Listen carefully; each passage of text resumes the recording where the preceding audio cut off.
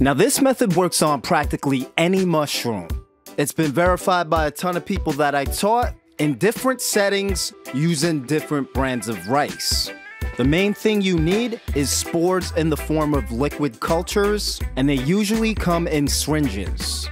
This is everything you need, and I know it looks overwhelming, but the majority of this stuff is to keep things sterile.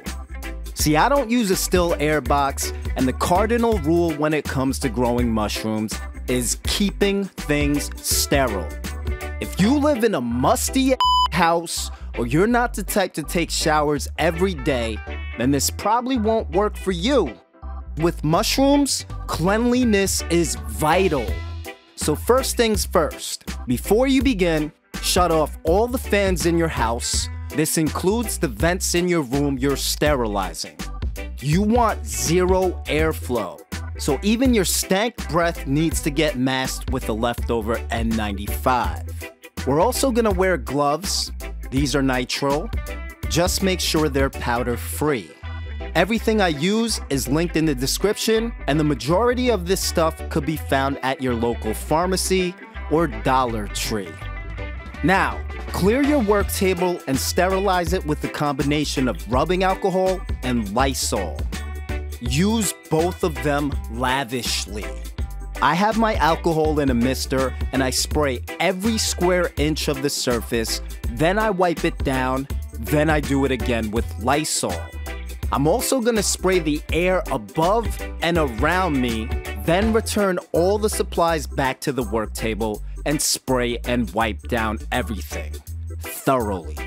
These Uncle Ben rice bags are 7.5 by 5.5 inches, so you want to find a container that's as close to this size and fill it up with an inch of rubbing alcohol.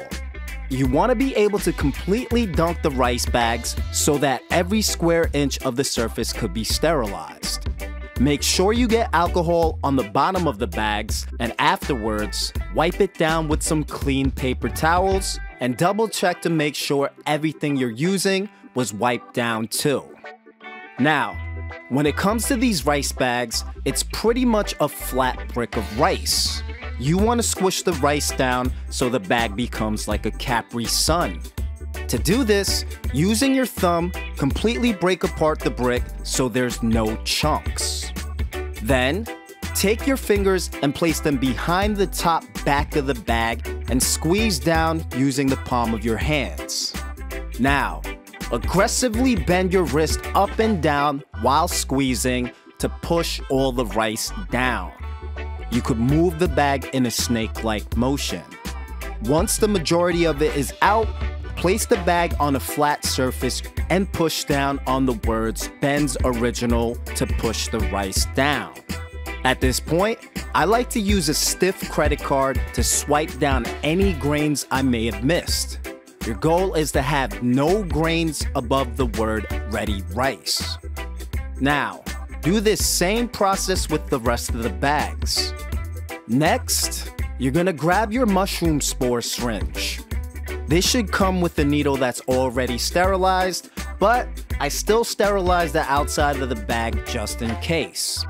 Set this aside, and now you're gonna grab your bag of rice and some micro pore tape. We're gonna strategically place three pieces of tape onto the bag, and the idea is to as rapidly seal these holes as you're making them. First, cut off a piece that's around an inch long and place it directly on the bottom center of the bag, but only stick it on the top. Next, we're gonna roll two circles of tape and place them right here and here. You want it so the edge is right on the top of the bag so you can unravel this down. I like to place both pieces of tape so that it's centered right on the left and the right of the word Ben's. Now, we're ready to flame sterilize the syringe so that we could jab the bag. Using a lighter, light up the syringe from the tip to 2 inches in. We want to quickly poke a hole around halfway down while holding onto the flap of micropore tape. Warning, I'm only poking the syringe near the window for the purpose of this video. Usually, I do it further into the bag where I won't see it and risk poking the plastic. Now the amount of liquid you'll need varies by strain, but I find that around 0.6 milliliters is the sweet spot with these bags. Once injected, quickly remove the syringe and immediately seal the hole shut with the tape. Next, we want to cut two holes up top for fresh air exchange. Right under the top left piece of tape, you want to pinch a vertical line of the bag out.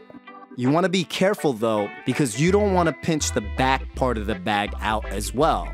You could turn the bag to sneak a peek, and as long as you didn't grab it, grab your scissors and cut a small triangular hole that's around the same size as the hole in E in Ben's. After the cut, push down on the hole to flatten it, then roll the piece of tape down and do this again on the piece of tape on the right. Again, pinch the bag right around the center bottom of the tape, make sure you didn't grab the back, cut a small triangular hole, flatten it, then roll the tape to seal the hole. At the end, check the back of the bag to make sure you didn't accidentally cut a hole. If it's good, that's it. We got our first bag set up. Continue to do this with as many bags as you want, and when you're finished, just place these bags upright or on their back in a dark room that's as close to a stable 78 degrees Fahrenheit as possible. In 5 to 20 days, you should see some fluffy white mold expand, and that's exactly what you want. If you see any blue, that means you got contaminated and you have to do this again. If you see orange, that means you put too much liquid.